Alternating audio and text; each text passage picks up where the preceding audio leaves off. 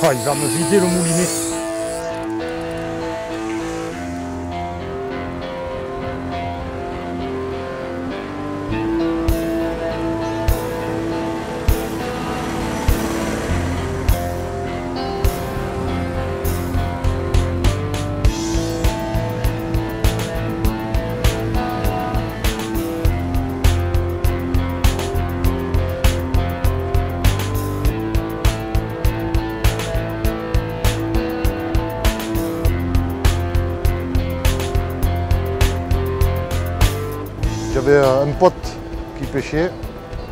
M'a dit Viens me voir, tu vas voir, c'est passionnant, c'est plaisant. Euh, Une fois que tu as goûté à ça, une fois que tu es mordu, après, tu ne peux plus t'en défaire. Je suis allé le voir.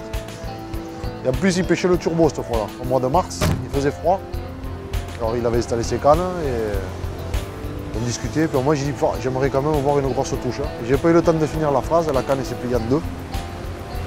Et il a fait un turbo de 3,5 kg. Et depuis ce jour-là, eh ben, je m'y suis mis. Et une fois que tu fais des beaux poissons, eh ben, pour t'en défaire, c'est pas évident. Et je me suis mis comme ça. Ce que je sais, je, le dis aux autres parce que si je peux leur permettre de supprimer la partie où ils vont galérer, eh ben, je le fais avec plaisir. Il y a une part de chance énorme. J'oserais dire que c'est plus de 50% la part de chance. Parce qu'il arrive qu'on pêche pendant toute une journée, on ne fait rien, et un type arrive juste derrière, il se met à votre emplacement, le premier lancé, et il sort un poisson. Donc euh, à mon avis, il y a une énorme part de chance.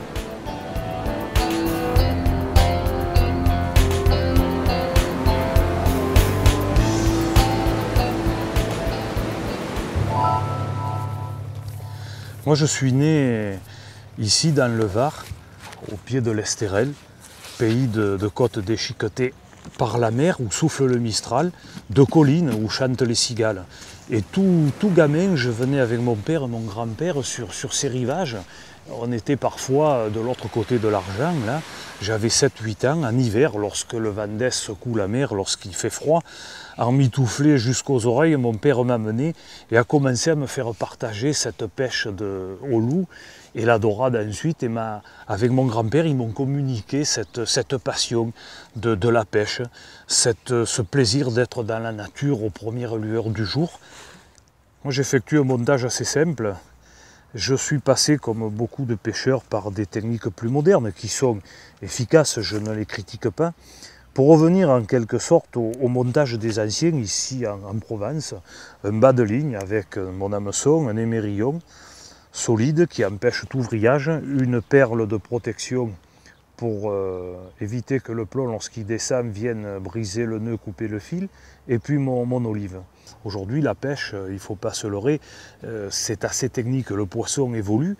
Lui aussi finit par avoir la mémoire de, l'heure qu'il l'a piqué ou d'un hameçon. Et aujourd'hui, on est obligé de toujours trouver des techniques beaucoup plus élaborées pour pouvoir le piéger. C'est un hameçon qui a une forme particulière. Il a été étudié par ordinateur et c'est un hameçon euh, que, le poisson ne peut pratiquement pas recracher. Là, on a un verre qui est magnifique, c'est un verre de chalut. C'est un verre qui est excellent pour la pêche. Un verre qui fait, pour celui-là, pratiquement un mètre de long. Euh, En pêchant, on va, commencer à couper des morceaux pour garnir l'hameçon, mais à partir de la queue, on garde la tête. Et si euh, il me reste 20 cm de verre après la partie de pêche, que je le mets dans de l'eau de mer, dans du sable, dans un aquarium avec un bulleur, euh, dans un mois et demi, mon verre fera à nouveau 80 cm.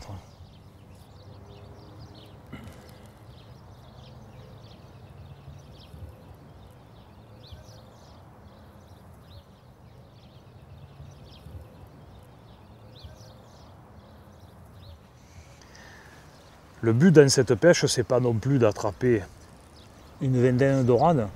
Il suffit d'en faire une ou deux, c'est déjà une partie de pêche réussie. Mais on a tous espoir dans cette pêche-là de, piquer un jour le, poisson de sa vie, une dorade royale, la belle aux sourcils d'or qui rôde là depuis longtemps et qui atteindrait ne serait-ce que ses 4 ou 5 kilos, avoir le plaisir de, de la travailler au bout de la canne pendant une bonne demi-heure. Ça, c'est l'espoir de, tous les pêcheurs de surf casting, tous les gens qui pratiquent cette pêche. Euh, C'est un boisson pour lequel j'ai une fascination. C'est un boisson, lorsqu'on l'a au bout de la canne, euh, qui tire en permanence. Et tant qu'on tant ne l'a pas sorti, on n'est jamais sûr de, de l'avoir. Lorsqu'elle arrive tout près du bord, parfois contre le, tombant de sable, alors là, euh, il faut s'éloigner, ne pas se montrer, parce que si elle vous voit, elle se déchaîne.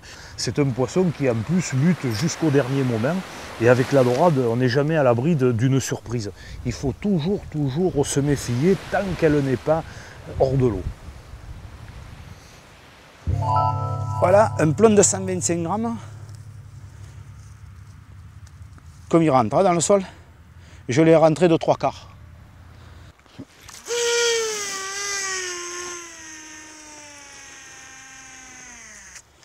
11, 12, 13, 14, 15, 16. C'est pas le plus passionnant de ramener, hein. c'est Non, là, je suis plus sur le terrain. hein. Là, c'est carrément le bateau et direction les îles.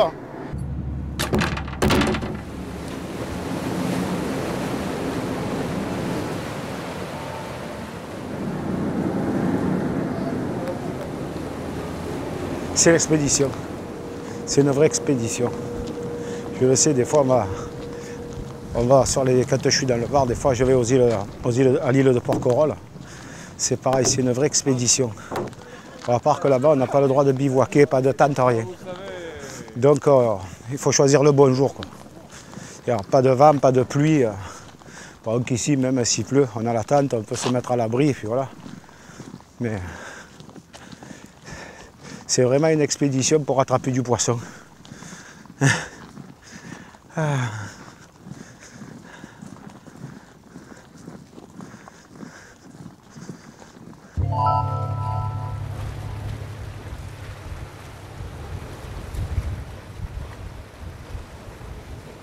la sardine, on met un trident. Avec un double ou un triple hameçon. Voilà, dedans. On fait une boucle pour fixer bien à la queue. Que ça tienne bien pour le lancer. De temps en temps, il y a des murènes aussi qui passent. C'est un peu moins intéressant, mais bon.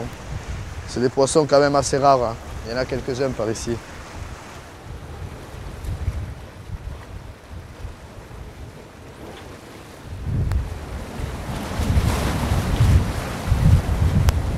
En général, elles aiment bien, elles aiment bien les crabes. hein. Ça, par contre, c'est quand même euh, quasiment exclusivement pour les dorades, des appâts comme ça par ici. Que ce soit des moules, des crabes, elles arrivent, à- elles arrivent très très facilement à les, à les manger.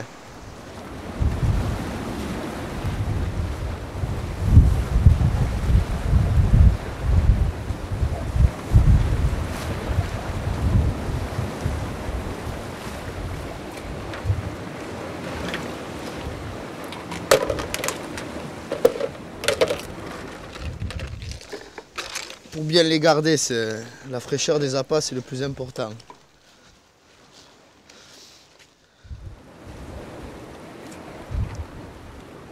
On a un bel appât aussi, c'est les, les grosses coques. hein. C'est pas mauvais pour les dorades. hein. Il y a un petit, un petit peu tous les poissons qui, qui y mordent. hein. C'est un très bon coquillage. On pourrait pêcher avec le coquillage en entier, mais le- une- quand il est décortiqué, il y a quand même le côté olfactif et, qui est intéressant. Ce sont des, les, coquillages comme ça, c'est assez, assez iodé, c'est c'est des appâts qui sentent, euh, qui sentent assez fort dans l'eau. Donc il y a quand même un intérêt de les décortiquer un peu. Et là au bout, je fixe un petit peu de fil élastique pour bien le, pour bien le fixer, qu'on puisse le lancer sans, euh, sans problème. Ça fait quand même un bel, euh, un bel appât. Une fois posé sur les hameçons, voilà euh, comment il est présenté dans l'eau pour les poissons. Ça fait une belle, une belle bouchée quand même.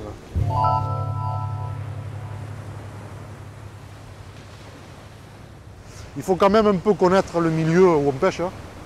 Donc il faut l'observer, il faut le regarder. Le sens du vent, le courant. Là, le, vent d'est engendre un courant vers la falaise. Donc s'il y a du poisson, le poisson va remonter. Donc il va, venir manger. Il faut quand même observer la mer.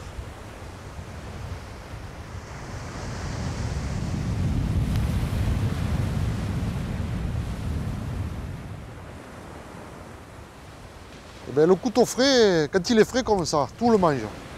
Euh, la dorade en raffole, le loup le mange, le sard le mange, euh, un peu tous les poissons.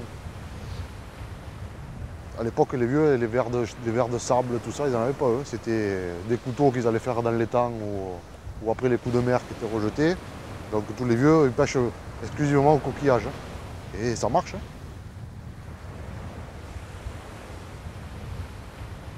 Et on ligature le couteau pour pas qu'il s'en aille. Donc on fait un rôti un peu. Et ça tient mieux, euh, ça tient mieux la maçon. Les coquillages, les amandes, les langues rouges, tout pareil. On ligature tout, parce qu'en plus on pêche avec des gros hameçons. Avec du 3 4 0 On en met deux ou trois chaque fois dessus. Et on ligature tout pour pas que ça s'en aille au lancer. Et le problème du couteau frais, c'est qu'on n'en trouve pas partout. Et quand on en a besoin, il n'y en a pas. Et quand on n'en a pas besoin, il y en a partout. Donc c'est assez, assez problématique. C'est pour ça que quand il y en a, il faut en profiter.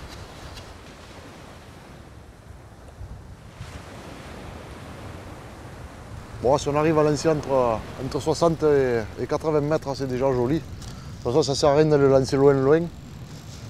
Parce que bien souvent, le poisson, il est, est plus près qu'on le pense. hein. Ça arrive des fois qu'on le passe euh, dans la vague à, à 20 mètres du bord. hein. Donc il faut toujours en lancer une loin, quand on pêche à plusieurs cannes, une loin, une moins loin, une près. Et chaque fois qu'on ramène la canne, euh, on rechange les distances de lancer. Parce qu'il faut le prospecter le poisson. hein. Il vient, mais il faut aller le chercher aussi. hein.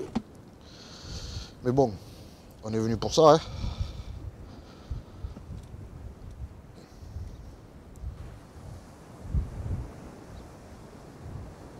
Alors là, si pour le verre de sable, s'il n'y a pas d'aiguille, c'est impossible à mettre. Donc là, il faut être patient, le faire rentrer comme il faut. Parce que sans une aiguille, ça passe pas.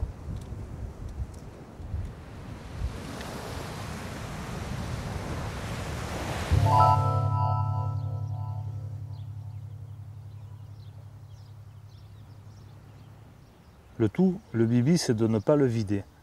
C'est plus facile à dire qu'à faire parce que il se vide facilement. Mais c'est vrai qu'un bibi comme ça, pas vidé, qui bouge bien sur le fond,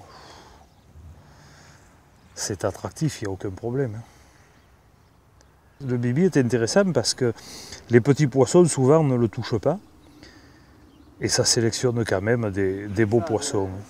Des loups, des, belles dorades. On peut prendre une, une belle ombrine aussi, comme euh, il n'y a pas de souci à se faire, on a toutes les chances que, que la pale intéresse. Le fil le traverse, j'ai placé un petit stop flotte sur mon fil pour éviter qu'il remonte le long du fil, que l'hameçon sorte du verre et que donc euh, il soit inopérant. Et il continue à bouger. Alors imaginez un verre comme ça qui, qui bouge sur le fond. Euh, c'est un appât à poisson, c'est incontestable.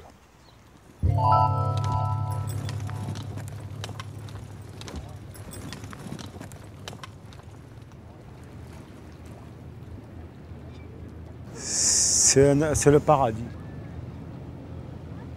Il faut pêcher dans les taches vertes. C'est pour ça qu'arriver de jour, ça permet un peu de se, de se diriger la nuit. Il faut choisir un endroit où il y a des petits bateaux, parce qu'eux, ils ne vont pas rester s'ils n'ont pas de cabine.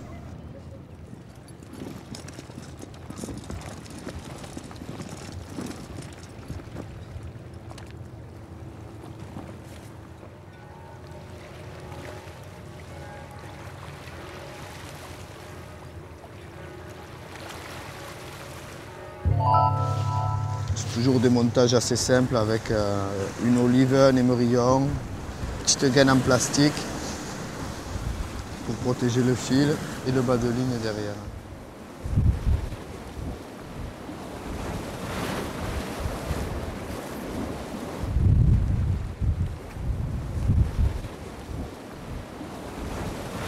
D'habitude, je me mets un peu à la pointe sur le, sur le rocher, mais quand, y a, quand la mer tape euh, comme ça, c'est pas trop risqué, mais il y a des vagues, euh, il n'y en a pas beaucoup, mais de temps en temps, il y a une vague qui passe par-dessus et qui, fait voltiger les cannes.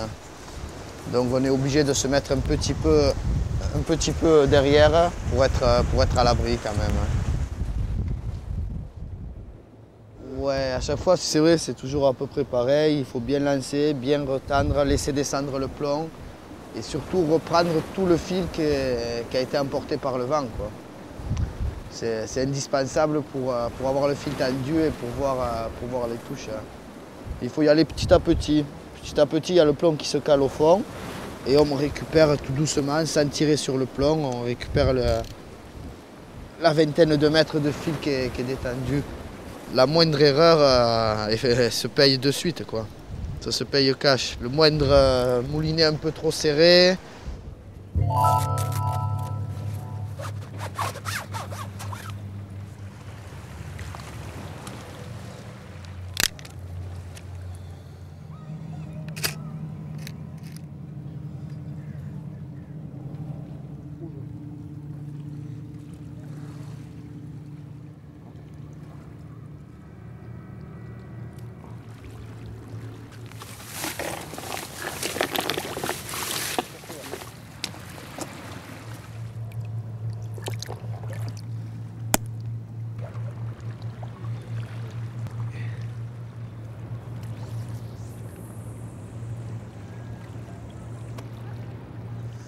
Mais la marée, c'est quand elle vient d'Italie. C'est le courant Ligure qui nous l'amène, nous. Mais en fait, c'est pas comme une marée qui est en Atlantique. Hein. la mer, elle reste toujours là. Quand elle va arriver, on va voir arriver une, légère vague. Et hop, ça va la couvrir. Ça va recouvrir les, ça va recouvrir les cailloux. Et voilà. Moment, moment propice pour pêcher, hein, parce que ça doit un peu remuer le fond. Et là, le, le poisson a tendance à rentrer. Mais ici, je ne sais pas, on va voir. On va voir si on le voit, ce phénomène hein, ici.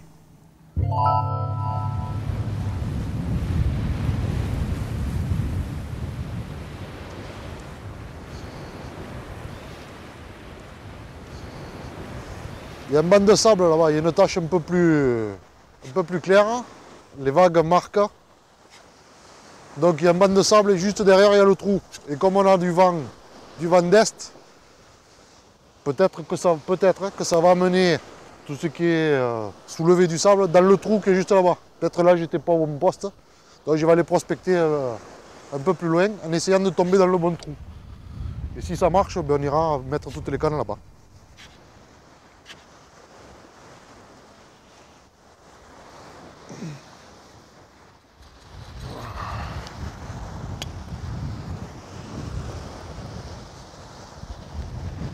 En plus, à cet endroit-là, il y a des rejets. Peut-être que le trou est meilleur là. On essaye de, taper derrière le banc de sable, parce que c'est là où, la houle vient taper et soulève, et soulève la nourriture. Donc le mieux c'est derrière. Mais quand le banc de sable est un peu loin et qu'on n'arrive pas en lançant à taper derrière le banc de sable, il faut voir s'il y a une entrée et une sortie, un peu comme les baïnes atlantiques. Hein. Il y a une entrée, le banc de sable, donc ça fait un couloir et ça ressort de l'autre côté. Et là, il faut taper devant le banc de sable. Parce que là, toute la nourriture est roulée sur le banc de sable et elle tombe dans le trou qui est formé devant. S'il y a une entrée et une sortie, le poisson il rentre, il vient se nourrir, il ressort, il fait un tour, il, il revient. Si c'est fermé d'un côté, le poisson il rentre et il ressort, il ne revient plus. Il faut qu'il puisse y avoir une communication. Alors c'est pas la science à 100%. Hein c'est ce qu'il faut essayer de faire.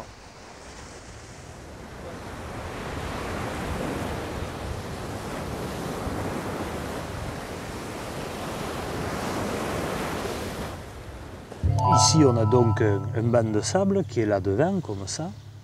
Et puis, on a une passe avec un autre banc de sable qui part, qui part assez loin comme ça, vers Saint-Égufe.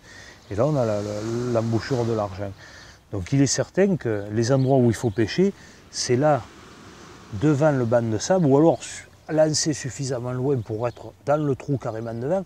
Mais, l'idéal, c'est d'être ici, et c'est d'être dans la passe, et là, contre le banc de sable. Parce que la mer, lorsqu'elle va commencer à bouger un petit peu, en milieu, en fin de matinée, l'eau va racler le sable comme cela pour faire tomber dans le trou qui est là du sable, évidemment avec, en remuant le, dessus du plateau, des vers et des coquillages. Et le poisson donc se trouve dans ces zones, dans ces trous qui sont là, parce qu'il a une hauteur d'eau suffisante au-dessus de lui et il, se sent donc plus à l'abri que dans des fonds de 40 cm, et en même temps, il a une nourriture qui, en quelque sorte, lui tombe du ciel. Ça, tombe directement dans le trou et ils n'ont qu'à manger. Euh, à l'œil, et surtout avec des lunettes euh, de soleil ou polarisantes, là on distingue très très bien les bandes de sable et les trous.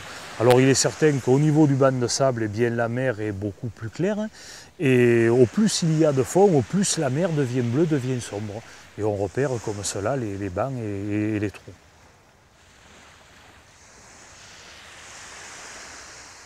On le voit aux vagues aussi, lorsque la mer bouge un peu, eh bien, il n'y a pas de secret. Les zones profondes, eh bien, euh, si la zone est profonde, les vagues ne euh, sont pas très marquées. Par contre, il est certain que s'il y a peu de fond, immédiatement, on a des vagues qui se forment et qui sont beaucoup plus marquées.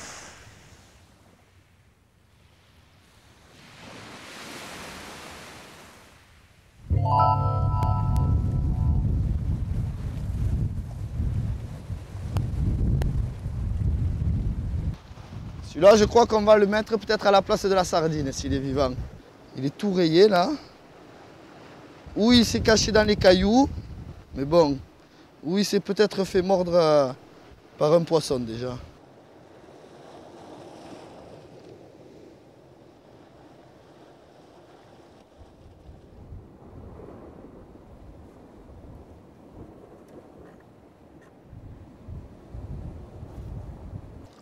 Tant qu'il remue un peu, même s'il pêche peut-être qu'un quart d'heure ou 20 minutes euh, en vie, mais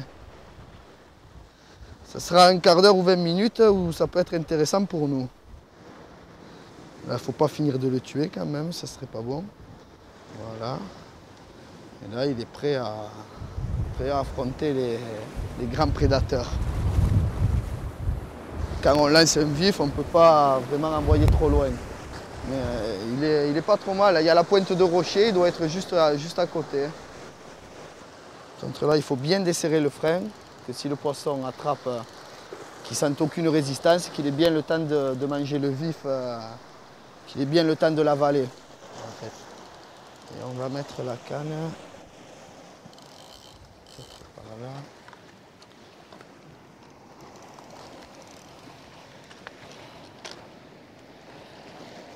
S'attraper un congre si on n'a pas de chance. Hein.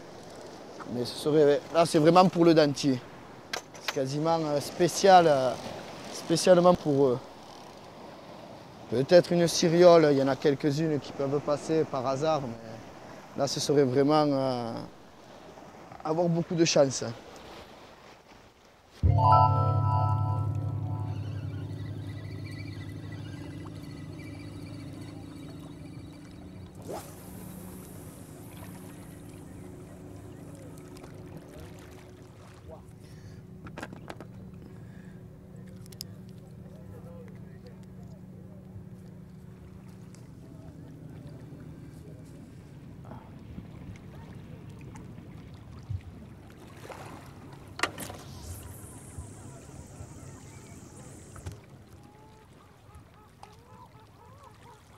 Il y a quelque chose qui me dépasse là, parce que si canalo et pas faire, faire un poisson, c'est quelque chose qui.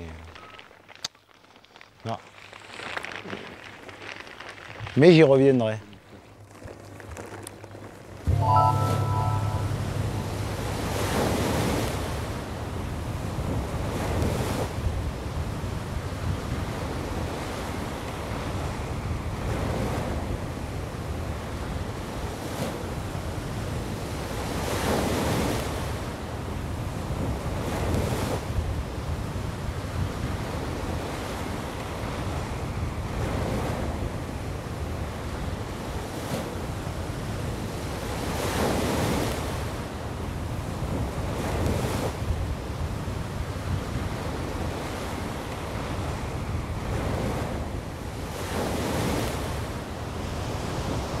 La pêche de nuit, on voit rien. On ne sait pas ce qui se passe. Et d'un coup, la canne plie. Et, euh, là, là, même si on est un peu endormi, on se réveille vite et on court pour aller récupérer la canne. Quand les lumières se mettent à danser, quand ça, ça se met à bouger, c'est un, beau spectacle. Faut y croire. Toujours y croire.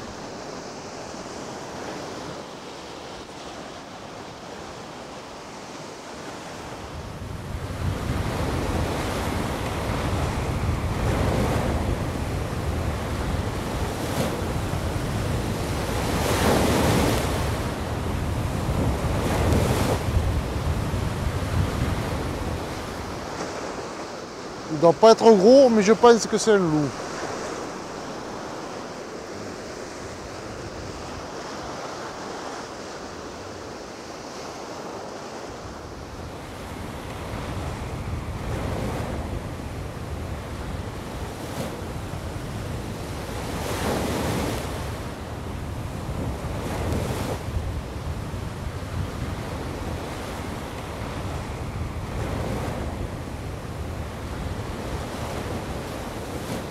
Voilà ce pourquoi on était venu. Voilà, juste pris sur le bord. Ah, c'est un joli petit loup. Hein?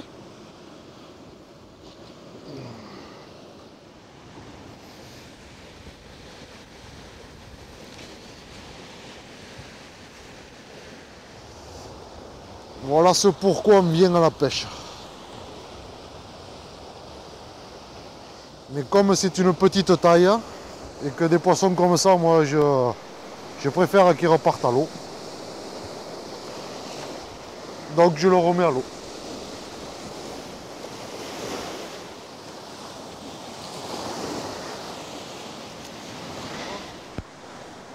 Tout ce qui est en dessous du kilo, je le remets à l'eau.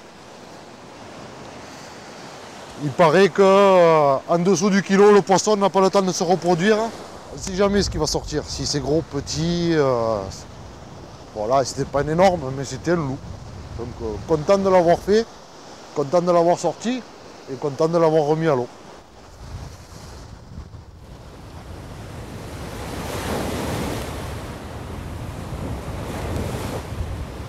On va voir.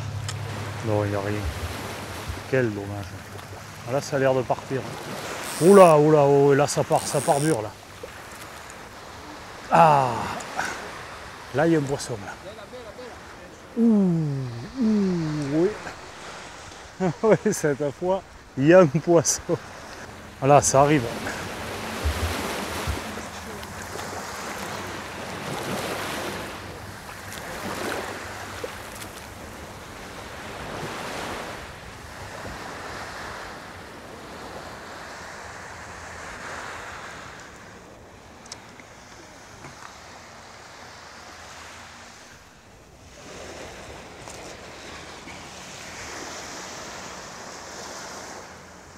Elle n'est pas piquée profondément. hein.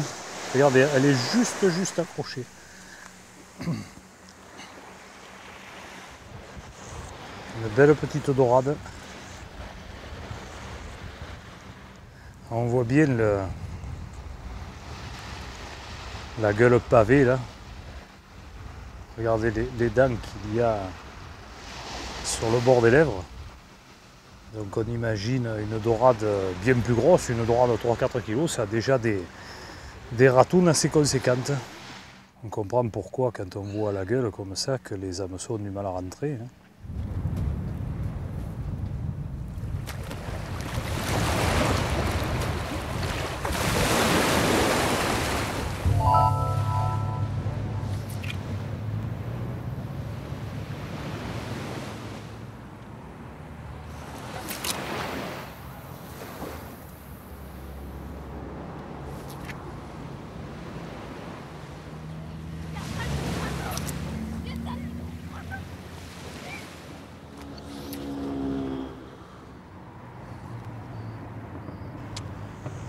Il faut se, mettre à la portée de la mer et d'être là à l'écoute, de savoir ce qu'on peut attraper comme poisson. Ouais, j'ai toujours plus ou moins péfouillé comme diraient les autres. Et du jour au lendemain, eh ben, quand je suis arrivé dans la région, quand j'étais sur Toulon, je pêchais pour moi, pour mon propre compte, comme ça. Quoi. Mais sinon, euh, quand je suis arrivé dans la région, je me suis fait des copains, ils étaient dans des clubs, ceci et cela. Ils m'ont dit, ouais, viens pêcher, l'ambiance elle est sympa. Et je me suis mis au surf comme ça. Et après, euh, l'année d'après, j'ai commencé à faire euh, des compétitions. Voilà, ça m'est venu comme ça, mais j'ai toujours plus ou moins pêché.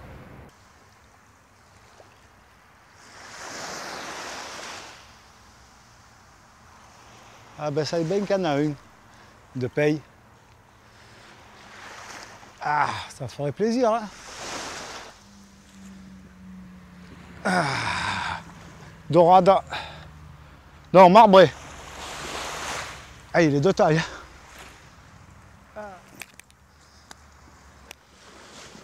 Oh, ça, tiens.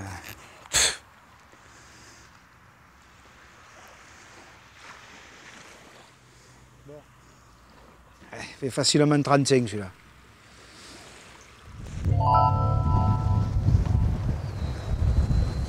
Accroché.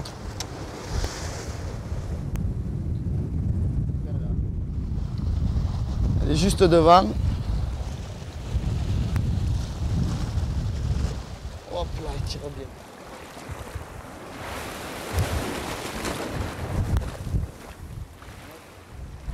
Elle veut aller au fond.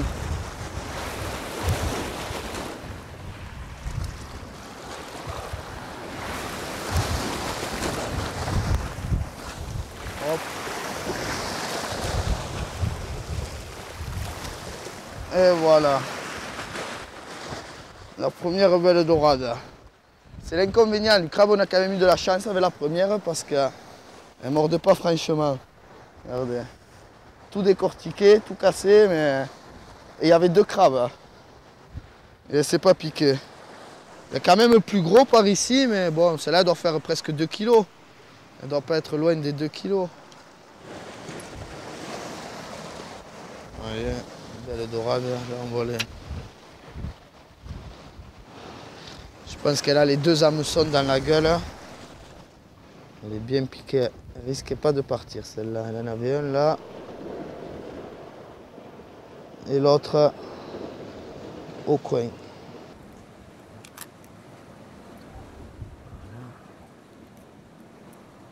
voilà, et là on voit la barre sur les yeux. La barre dorée et sur les côtés. Une belle nageoire. Elle a dû bien manger celle-là.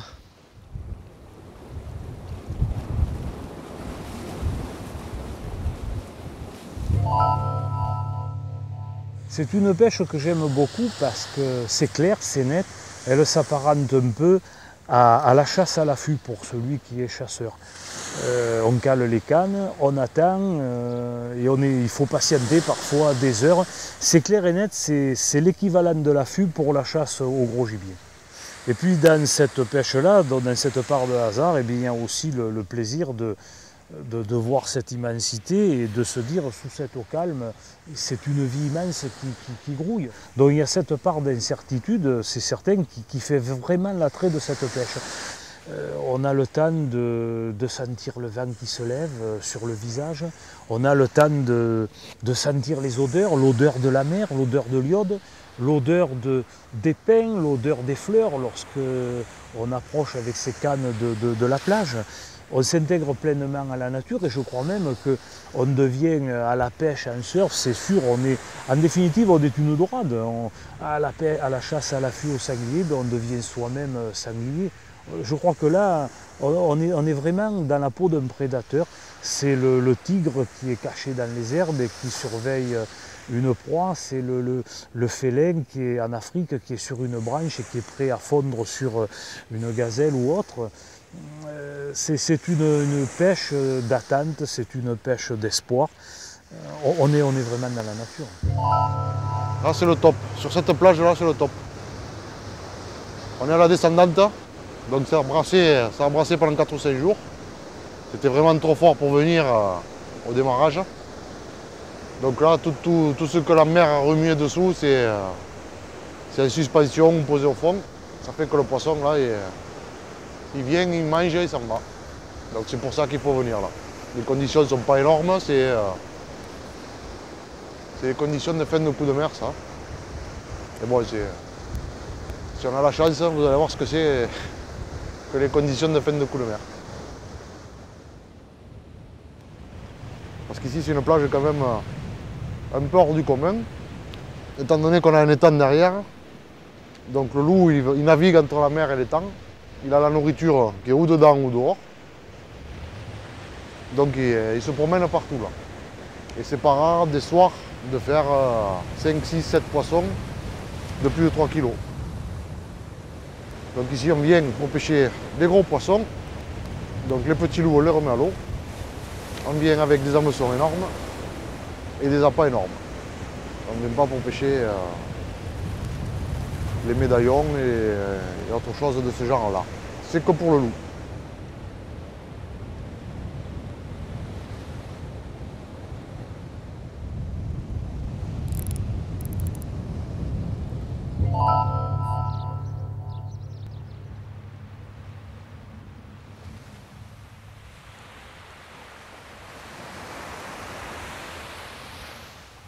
C'est sûr que l'idéal pour nous, envoyer, ça serait d'envoyer là-bas contre notre bande de sable, là-bas, là-bas loin, dans, le trou. quoi.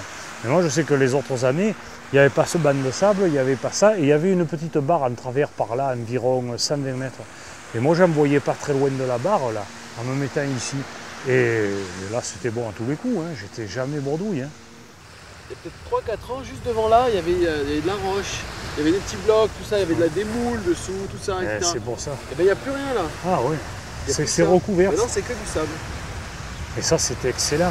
Moi, ce que j'envoyais, j'envoyais devant ce truc, contre ce truc, et c'est là que, que- que les dorades, elles venaient. En général, lorsqu'on pêche sur des plages, il est bon de repérer ainsi les, les bancs de sable, de connaître les trous, de connaître les bancs et de, de pêcher en fonction de tout cela. Moi, j'avoue que mon épouse aime bien se baigner, adore la plage. Moi, si j'aime la mer, je ne suis pas un fou de la baignade, mais il m'arrive parfois l'été de venir là avec masque et palme et de nager pendant 2-3 heures. Les gens vont se demander ce que je fais. Eh bien, tout simplement, je- je- j'examine les fonds, je repère les trous, je repère les bandes de sable et je sais à peu près exactement euh, à telle distance où se trouve le banc de sable, quelle est la profondeur qu'il y a entre le banc de sable et la plage, la profondeur sur le banc, etc. etc. Et je crois que la pêche en surfcasting, la pêche sur la plage, commence euh, avant tout par une bonne connaissance de- de- des fonds et du secteur euh, sur lequel on va opérer. Ça, c'est très très important.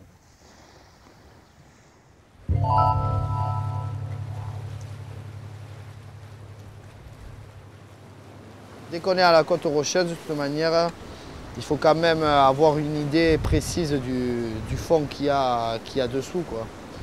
Parce qu'il faut trouver les, endroits un peu sablonneux. Et c'est sûr que c'est un endroit, j'ai plongé un peu, j'y venais l'été. c'est comme ça que je me suis dit que ça pouvait être. euh, c'est en voyant le fond que je me suis dit que ça devait être bon pour la pêche. hein. Quand on peut, c'est toujours bien de se mettre à l'eau et de regarder, en été, de regarder un peu euh, l'endroit où c'est que l'on pêche. hein. Ça, c'est un conseil à, donner.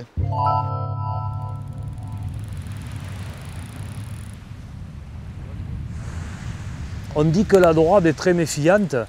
Euh, a priori, c'est pas qu'elle est vraiment méfiante. Mais c'est un poisson qui est un broyeur de coquillages et qui, la plupart du temps, se nourrit de coquillages. Donc, C'est un poisson qui a l'habitude de saisir une moule, par exemple, de remonter un peu par rapport au fond avec, de la broyer, de la lâcher. Et qu'est-ce qui se passe? Eh bien, on le comprend. Avec le courant, les débris de coquillage vont s'éparpiller. Le coquillage lui-même nettoyé va tomber sur le fond. Et là, la dorade va aller récupérer ce coquillage qui est propre, qui est intact et l'avaler. Et elle a cette habitude. Donc lorsqu'elle saisit un verre, bien souvent, elle fait la même chose. Et il ne faut pas, évidemment, pendant qu'elle fait ça, qu'elle sente une résistance, sinon elle va comprendre, tout lâcher, et, le pêcheur euh, a perdu tout espoir de la capturer. Pour les dorades, on pêche aussi un peu, euh, un peu à la moulin. Alors là, on va essayer d'en ramasser deux ou trois pour mettre une canne à, la moulin et peut-être une au crabe aussi si on en trouve. hein.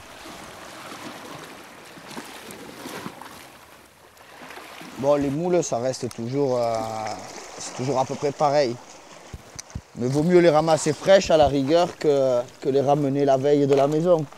C'est toujours mieux de les prendre sur place. hein. Ces appâts qui tiennent bien, vu qu'il y a la coquille, c'est, vraiment que les grosses dorades qui peuvent, euh, s'y attaquer à, ces- à des appâts comme ça.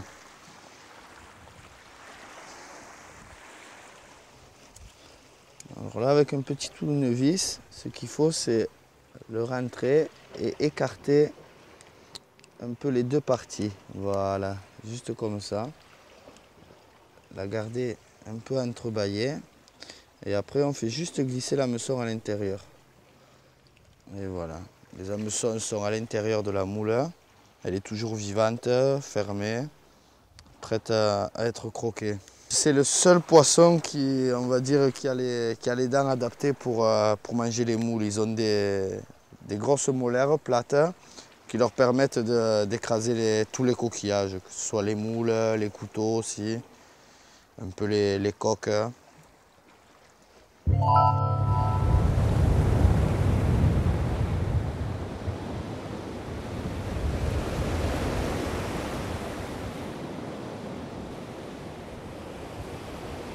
Ah, c'est le paradis.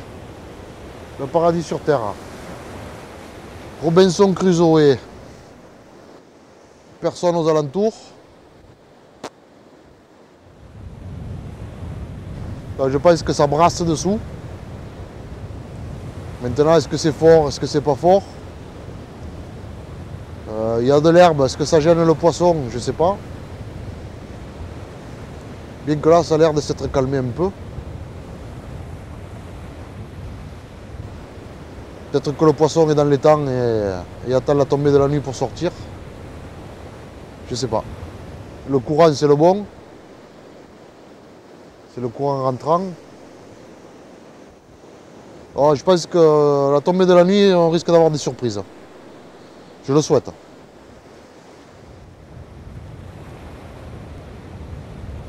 Pour les pêcheurs de surf, je pense que c'est c'est le poisson mythique. hein. Ça avec la dorade, les grosses dorades, euh, je pense que ce sont les poissons, euh, les poissons les plus recherchés. Et, euh, un joli loup de 3 kg au bout d'une canne, ça donne des sensations. hein. C'est agréable. Et puis c'est un poisson magnifique. hein. Et comme les conditions pour le pêcher sont pas. C'est pas régulièrement qu'on les a. Donc il y a une motivation supplémentaire, une montée d'adré- d'adrénaline supplémentaire. Puis tant pis, si on y passe la nuit, euh, tout le monde y vient. hein.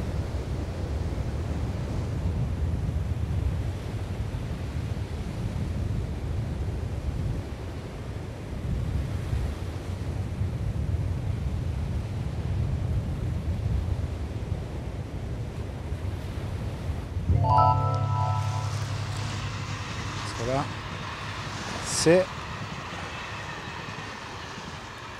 Touche, mais elle n'a pas dû vouloir se piquer. Une bugue Une bugue avec ça alors Putain, ça y est, il y a ça.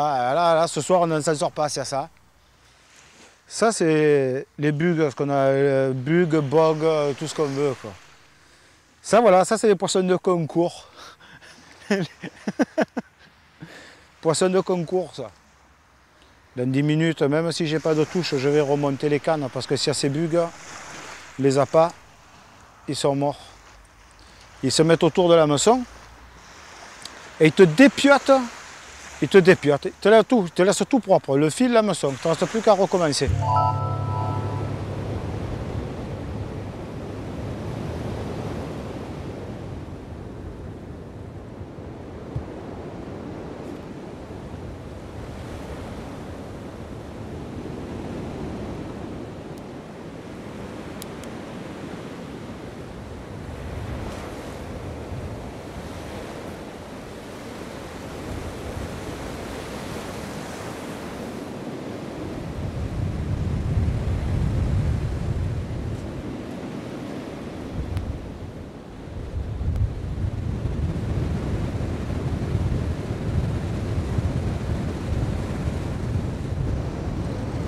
Allez, c'est parti.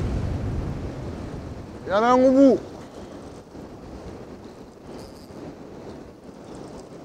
Il y en a un au bout. Il n'a pas l'air vilain. Il ne doit pas être loin. Là, le voilà. Il est là.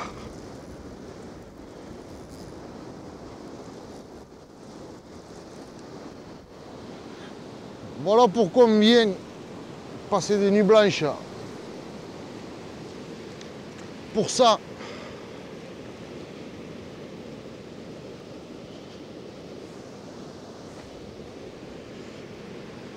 Pour ces bébêtes là.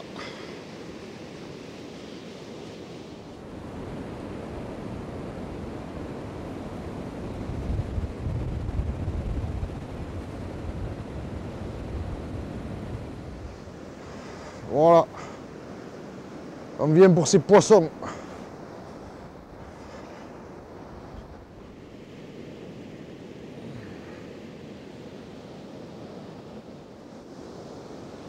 Voilà. 2 kg, 2 kg demi doit faire celui-là.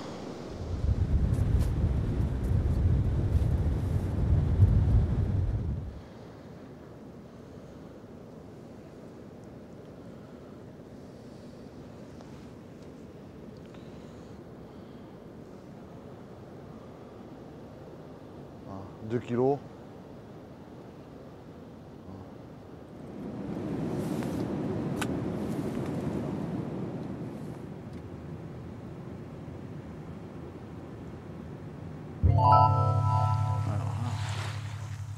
Putain, elle s'est prise. C'est que là, j'en mets pas les doigts. Putain. Regarde bien, toi. Pas besoin de gros hameçons. Hein. Regarde. Celle-là, je l'ai prise au verre de sable. Elle est un hameçon de 10. hein. Voilà. Ça va être la hein, dans le seau. Maintenant, il faut que je récupère mon aiguille. hein. Et tout ça, on n'a pas vu la touche pour la bonne raison qu'elle me l'a pris, l'a pas. Et elle l'a de suite avalé. L'hameçon étant tellement fin, elle a tout avalé. Et quand elle s'est sentie piquer, elle a fait du surplace jusqu'à ce que je tire. Chaque fois qu'on jetait un hameçon, on ramenait du poisson. Je changerais de métier et je me ferais poissonnier. Ça aurait plus de charme, ça aurait plus, ça aurait plus rien quoi. Il y a des postes, il y a des endroits clés. Mais à 50 mètres près, euh, le voisin de droite peut en faire, le voisin de gauche peut en faire, et celui du milieu ne fait rien. Et la fois d'après, c'est le contraire. C'est assez capricieux comme pêche. Mais bon, c'est le paradis. C'est le paradis. Euh, Le plus difficile déjà, c'est de savoir les postes, de connaître les postes, déjà. Donc ici, euh, étant donné qu'on fréquente régulièrement la plage, on arrive à savoir à 10 mètres près où c'est qu'il faut lancer. Et puis après, il faut essayer de raisonner comme le poisson. Alors c'est très difficile. Il faut jouer avec les courants, surtout quand on est ici, là, à l'embouchure. Quand le courant rentre ou quand le courant sort, il faut essayer de s'imaginer à l'endroit où on va se mettre, si on était le poisson, pour manger. Voir si on arrive à remonter le courant, si on se laisse descendre. C'est difficile. Donc eh ben, avec, euh, on pense, on réfléchit et on essaye d'analyser la chose. Et euh, des fois on analyse bien et des fois on analyse mal. Il y a des jours où il va manger, on ne va pas savoir pourquoi. D'autres jours, on pourra lui présenter ce qu'on veut. Et bien, il ne mangera pas. Des fois, il va manger de bonne heure, des fois, il va manger tard. C'est euh, c'est un petit bonheur, la chance.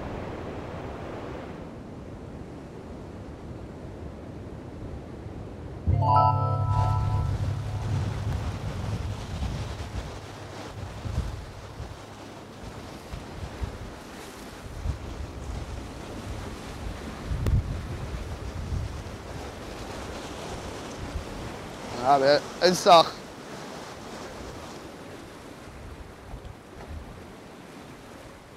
Mais là, c'est un joli sard. Un autre poisson.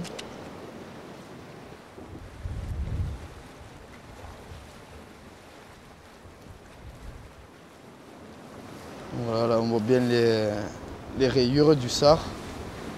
Un joli sard, il doit faire presque un kilo. On voit les belles, euh, les belles, les belles marbrures. Et la queue, la queue bien noire et la tache, la tache là en bas de la queue. C'est quand même des beaux poissons.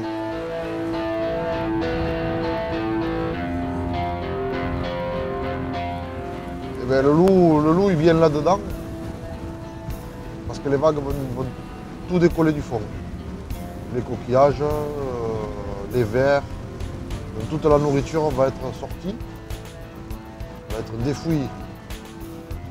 Et là, il va venir, il n'aura pas à se casser la tête, il va venir et puis il se nourrit, il mange. Il n'aura pas besoin de chasser les poissons, il n'aura pas besoin de se creuser la tête, hein, de calculer, il va venir. Et il va manger tout ce qui, qui sera, qui sera ou en suspension dans l'eau ou posé au fond. Alors là, on va attaquer en plus la période où il va venir se nourrir. Parce qu'il va aller se reproduire, donc il faut qu'il qu'il fabrique de la graisse, qu'il prenne des forces, parce qu'après, pendant un moment, il ne va plus manger. En période, de, période de reproduction, il ne se nourrit plus, donc il vient, euh, il vient se gaver là. Il vient manger tout ce qu'il peut manger, il l'avale, en prévision justement de ça, de la reproduction. Donc là, on arrive dans la bonne période. Fin octobre, novembre, décembre, c'est le, le meilleur moment pour ça. Après, on peut venir continuer à pêcher, mais le, le- problème, c'est qu'on va faire des femelles pleines. Et si on commence à taper des femelles pleines d'œufs, euh, la reproduction ne se fait plus et le poisson est en diminution. C'est pour ça que moi, après, moi, je m'interdis personnellement de venir pêcher en période de reproduction. Ça ne sert à rien. Si, je viens, si je sortir les reproducteurs de, de la mer, mon fils, si un jour il vient à la pêche, ben, il n'aura plus rien à pêcher.